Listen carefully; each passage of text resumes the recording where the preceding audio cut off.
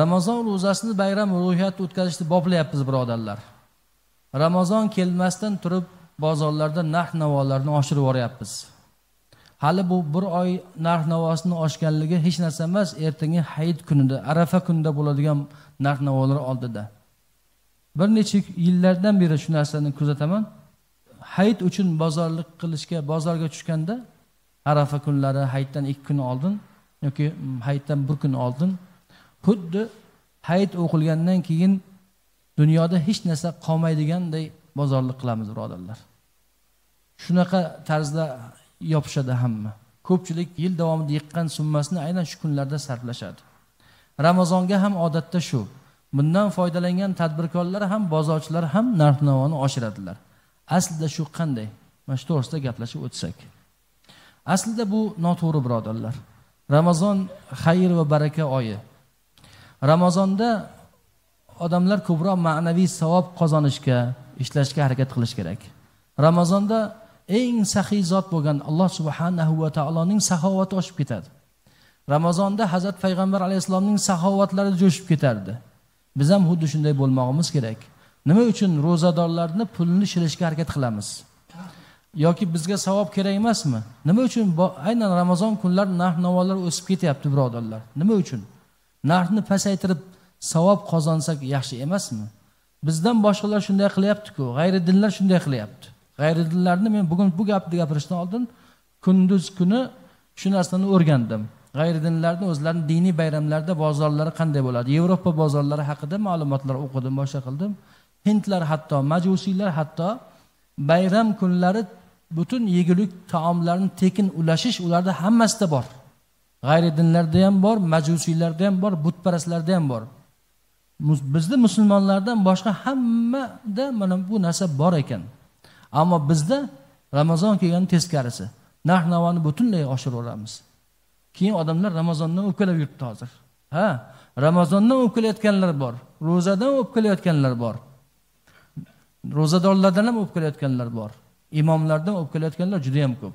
Xuddi narx navoni biz oshiraverganday shuning uchun ro'zada musulmon odam chandonki o'zini haqiqiy demak yuzini odobini xulqini ko'rsatish kerak ekan birodarlar. Axir baraka raqamlarda emasku. Baraka bu sifralarda emasku. Baraka alloh subhanahu va taoloning ziyoda qilishidaku. Aslida narx navoni o'sishi musibat emas. Faqat ramazonga bog'lanib qolayotganligi uchun gapiryapman birodarlar. Mana istiqlolga erishganimizga necha yil bo'lgan bo'lsa o'ttiz yillarni olaylik. O'ttiz yildan buyog'i qancha narx navo oshdi? Bir yilda necha marta narx navo oshadi? Benzin qancha oshadi? Kimdir ochdan o'lib qoldimi? O'sha narx navoni oshgani tufayli biz kambag'al bo'lib boryapmizmi? Agar yo'q hammamiz kambag'al bo'lyapmiz desangiz har hafta hisobotni eshiting har hafta uch to'rt besh milliard so'mga nomer sotilyapti. Strech nomerlar haliyaqa nollik nomerlar e, o'ziga jalb qiladigan moshina nomerlari har hafta to'rt besh milliard so'mga nomer sotilyapti. To'rt besh milliard so'mga nima sotilyapti? Orzu havas. Havas sotilyapti.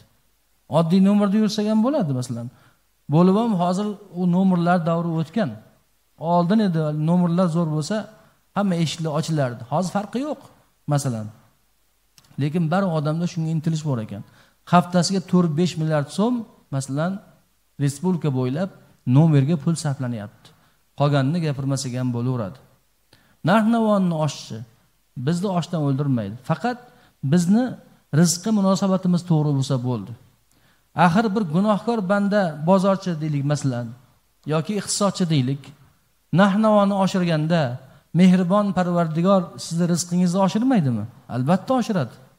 Alloh taolo yo kuzatib turmayapti deb o'ylaysizmi? Alloh taolo hamma narsani kuzatib turibdi hamma narsani biladi. Haligi muhtasibni kallasidagi hisob kitob nima nollar ketayotganligini alloh taolo hammasini biladi. Qarorga imzo qo'yilishidan oldin alloh taolo uni biladi. Ertaga xalqqa nima qaror chiqadi uni alloh subhana taolo biladi. Shunga yarasha sizni rizqingizni to'g'irlab qo'yaveradi. Mo'min musulmonlar rizqni g'amini chekmasinlar. Chunki alloh subhanahu va taoloni biz razzoq zot ekanligiga iymon keltirganmizku.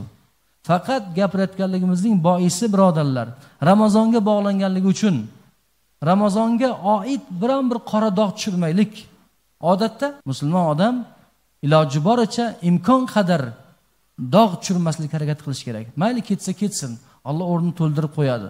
Ammo dog' tushirmaylik birodarlar. Hech qayerda yurish turishimizda ham moshina minishimizda ham boshqa holatimizda ham dog' tushirmaylik birodarlar. Ramazoni karim ana shunday nozik.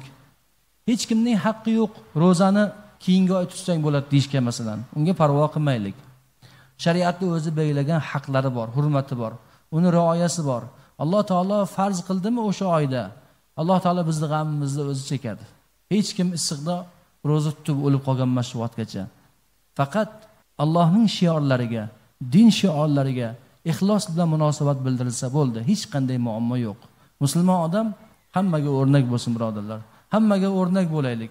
Yurish turishimizda ham gap so'zimizda ham muomalamizda ham jamoatchilikda ham xususan masjidda namozda ham.